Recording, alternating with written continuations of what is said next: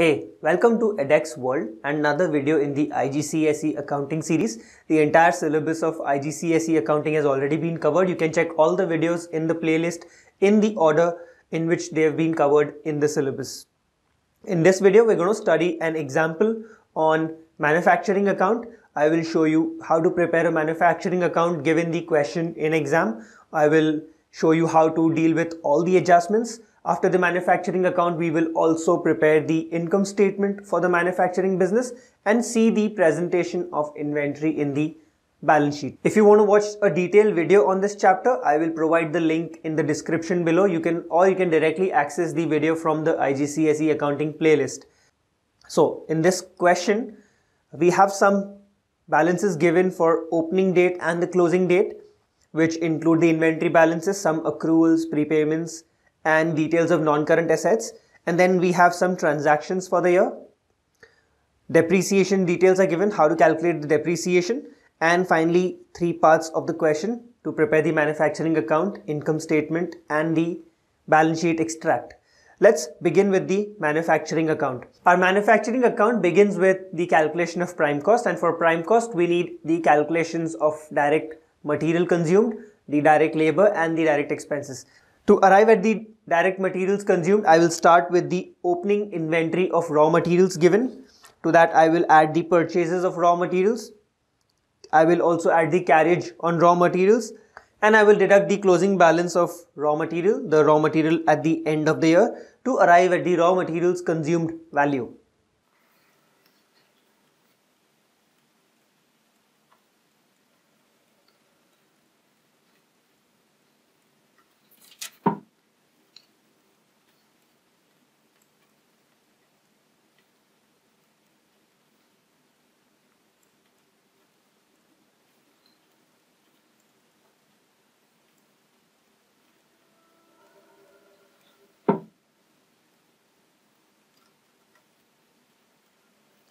So the raw material consumed during the year was 211,070. To this we will add our direct wages. If you read the question, the wages of factory operatives are given, paid during the year 197,280. But there is an adjustment. The operative factory operatives wages accrued at the beginning is 1850 and closing is 1990. The opening accrual will be deducted because this is paid during the year but belongs to the previous financial year and the 1990 which is the closing accrual will be added because it is not yet paid but based on the accrual concept it has to be added while calculating the cost of production. So let us calculate the final direct wages so that we can arrive at the prime cost.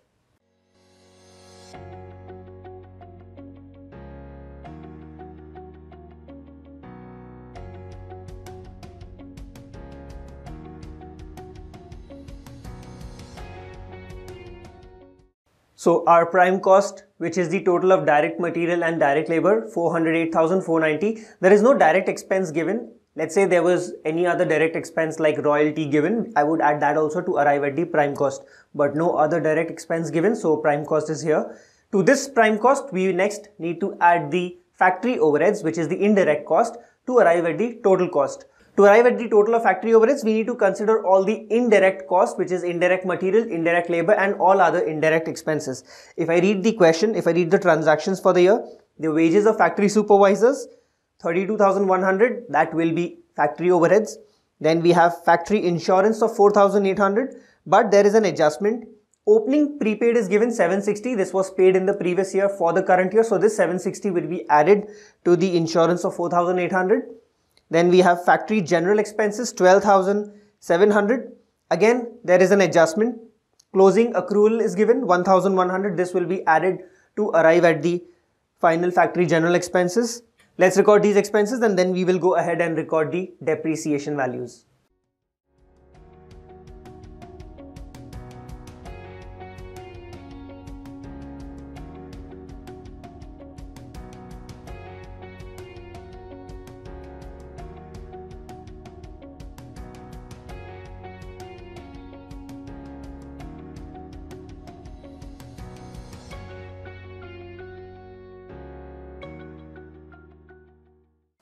So we've recorded our factory overheads. except for depreciation. So for arriving at the depreciation, uh, non-current assets here that are used in the factory are loose tools and machinery. For loose tools, it is given at valuation. So that's an indication that we have to use the revaluation method of depreciation. So the formula for calculating depreciation using the revaluation method is the opening balance of the tools plus tools purchased minus the closing balance of the tools. If you want to know in detail about this concept about the revaluation method of depreciation, you can check my video on depreciation in the playlist. And as far as the machinery is concerned, if you read a note below, it says machinery is to be depreciated at 20% using straight line method and depreciation being charged on the new assets for the full year. So if you see the trial balance given or the balance is given, machinery at cost opening is given 60,000 and closing is given 75,000. So the question arises on which balance should we calculate our depreciation? Depreciation will be calculated on the closing balance because the, uh, the question says that depreciation should be calculated on all new assets irrespective of the date of purchase for the full year. So we will take directly the closing balance 75,000 that includes the new assets as well. On that we will apply 20% rate to arrive at the depreciation.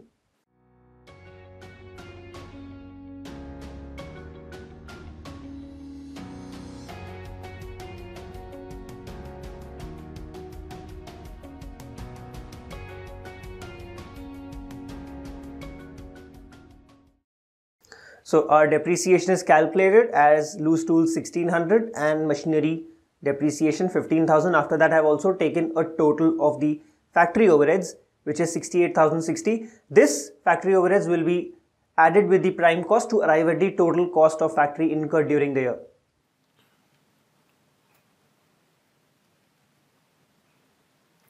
Now we cannot transfer this cost of 476,550 directly to the income statement because this 476 450 includes cost incurred on work in progress items. Because if you see the question opening and closing balances of work in progress are given. So the adjustment for work in progress will have to be made so that we arrive at the cost of production of finished goods only that can be transferred to the income statement to arrive at the gross profit. So i will add the opening work in progress balance and deduct the closing work in progress balance to arrive at the net amount and that will be added or deducted with the cost arrive at 476 550 to arrive at the total cost of production of finished goods.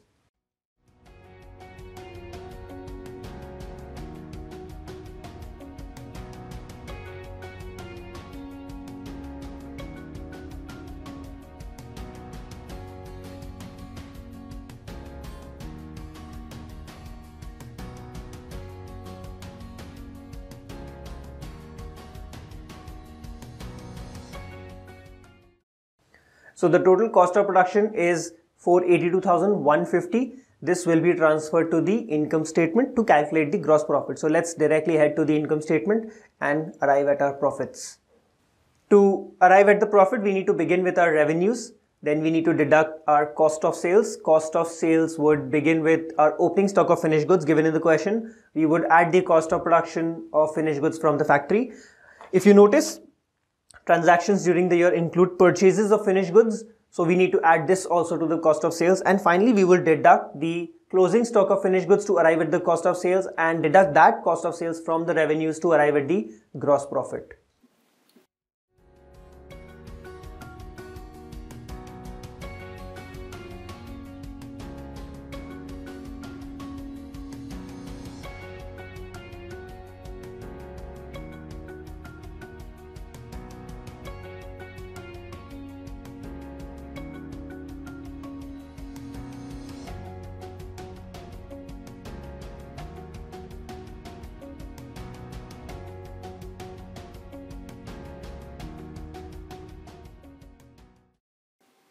So the gross profit here we've calculated at 188,350.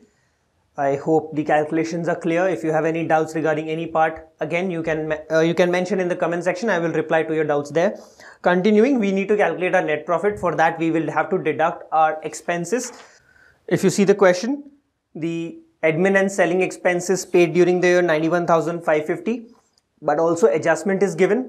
We have opening accrual of 5110 and closing accruals of 7820 as far as the admin and selling expenses are concerned. So we will start with our 91550 add the closing accrual 7820 and deduct the opening accrual of 5110 to arrive at the final expense for admin and selling expenses.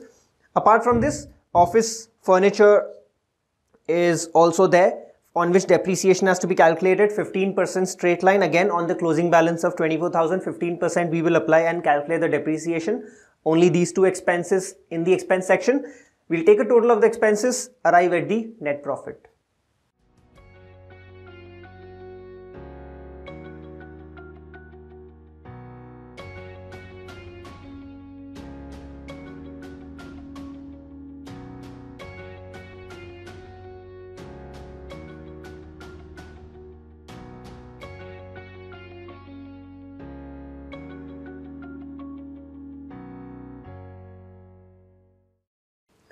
So the net profit for the year is 90,490.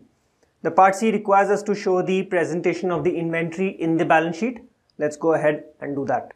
The inventory is presented in the current assets section of the balance sheet. So we will just be presenting that part of the balance sheet, not the entire balance sheet and hence this is also, this is known as balance sheet extract. So under the current assets inventory, we will present all three category of inventory, the raw material, work in progress and finished goods and then show the total.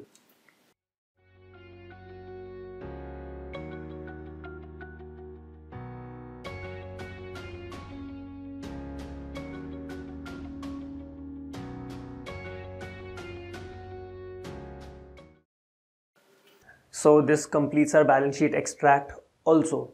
I hope this video was useful for you. I hope you've understood manufacturing account. If you had any doubts in manufacturing account from my previous video, I hope these doubts are cleared here. Any more doubts in manufacturing account, feel free to comment below. I will clear those doubts. If you enjoyed the video, please like the video. Please share the video with your friends. Do not forget to subscribe to the channel and press the bell icon. I'll see you soon with a new video.